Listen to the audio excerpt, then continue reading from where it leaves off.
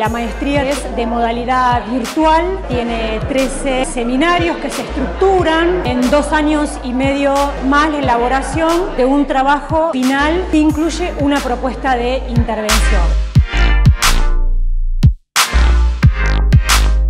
Es de carácter profesional o profesionalizante que nos distingue de aquellas maestrías académicas. Amplía así el bagaje de conocimientos que reciben los las profesoras de educación física en su formación inicial.